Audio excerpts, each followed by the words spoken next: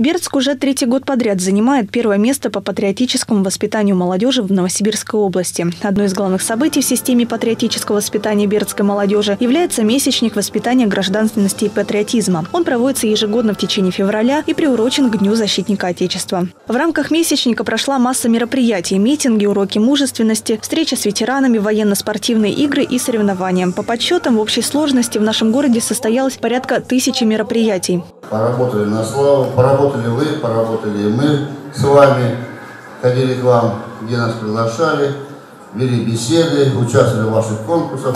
Еще одним значимым событием для Бердска стало создание местного отделения юнармии. В рамках месячника бердские юнармейцы торжественно дали клятву служить Отечеству. А на его закрытии 10 юнармейским отрядам торжественно вручили дипломы.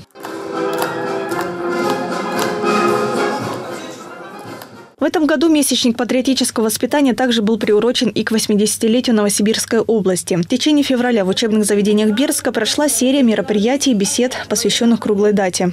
Патриотизм – это любовь. Большая, открытая душа. Любить свою родину как большую, так и малую.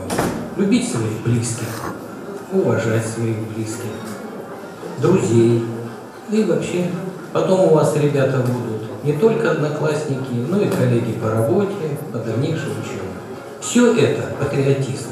Также прошли соревнования по огневому многоборью среди учащихся учебных заведений нашего города. Одним из лучших в огневой подготовке стал военно-патриотический клуб «Рысь» из седьмого лицея. Еще одну победу этому коллективу принесла Екатерина Кращенко, заняв первое место в областных соревнованиях по огневому многоборью.